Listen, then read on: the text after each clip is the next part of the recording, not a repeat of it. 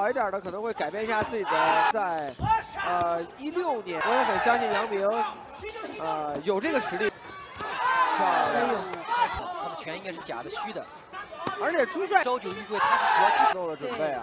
储备非常。看看到这个这个朝九玉贵的这个，对对，朝九玉贵的这个下，啊，又被没有抱着避，没有没有准备避身。有些人可以从突然从一哦。但我觉得张九玉贵今天可怕的是，他在第五回合的时候才把自己的。祝贺两。